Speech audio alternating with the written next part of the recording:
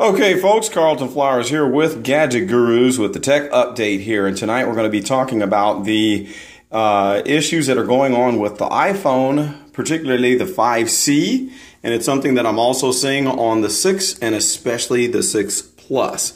What we're looking at right here is the inside of an iPhone 5C, and I've got the camera kind of focused in on the touch digitizer port and the LCD port connectors, and then we have the microphone connector. This is the LCD, and then this is the touch uh, sensor port. And so when you uh, hook up your LCD here, here's the um, plugs that are on the cable that go into those um, ports.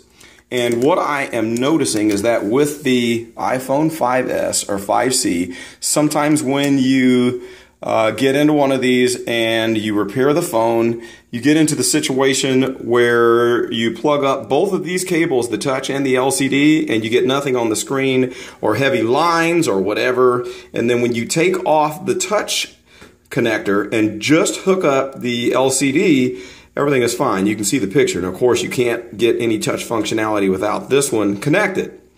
So what that tells you is that there is a problem either with the touch port or with that LCD and that functionality for the touch if it's messed up on the side of the port or on the actual cable here with your replacement LCD. Here's a replacement LCD right there. Is what it looks like.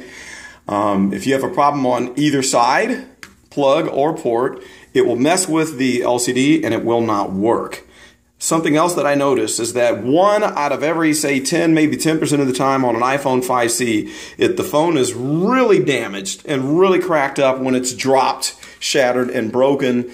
Um, you end up putting on your new screen and the touch port will not work at all. It's just hammered, and the only way that you can get anything on the screen is by just connecting that LCD uh, plug right there.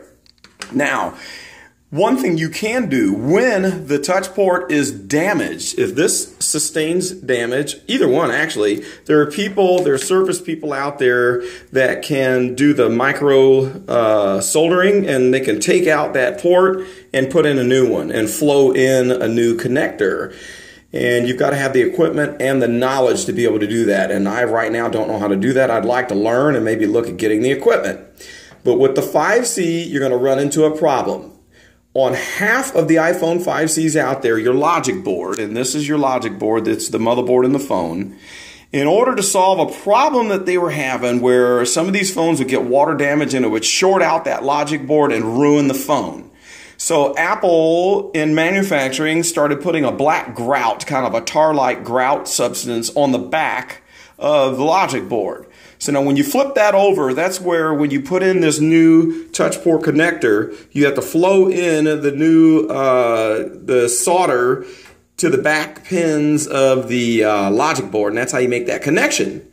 But when you got that black grout on there, there's no way that you can clean that off in order to get your new touch port connected to the board. And I have not found anyone out there that can do that. And the Apple geniuses cannot do it. I called our uh, Apple Store in St. Louis, Missouri, and they said that it's not possible to do that. So if you damage this port on a 5C that has the grout on the back of the logic board, you're done. There's nothing you can do with that phone, and if you have not backed up the phone, your data is lost forever, or it's just going to be stuck in this phone forever until somebody invents some kind of way that they can extract that data. Because when you hook this up to a computer with iTunes the way it works right now, you have to confirm on the computer that, or confirm on the phone, it'll say, allow this computer, is this a trusted uh, computer?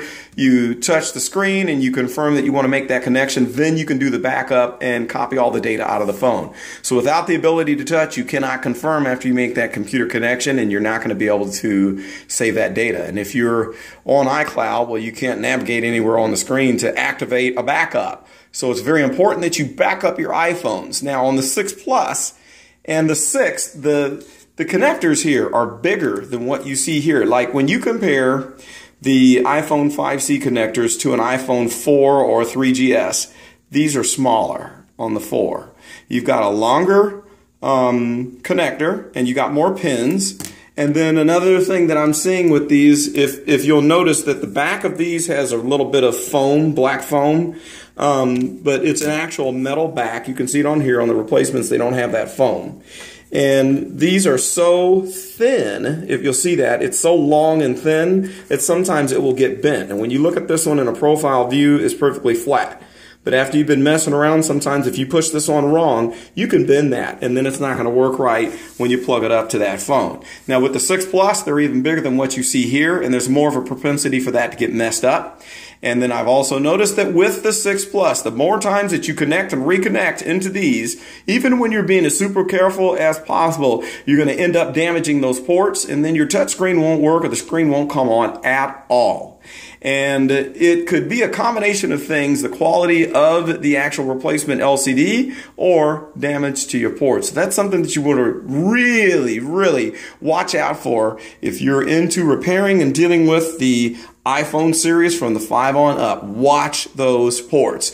Check out the blog at www.carltonzone.com and just hit the link to the blog in the menu section on the top. Check out the articles. I'll be writing about this issue and several others that you're going to run into when you're dealing with Apple devices. And I also do a lot on Samsung and LG. Those are two other common brands that I do repairs on. So we'll be talking about those two in the future. So Thanks for checking out the video, and we'll see you soon on the Carlton Zone. I'm out.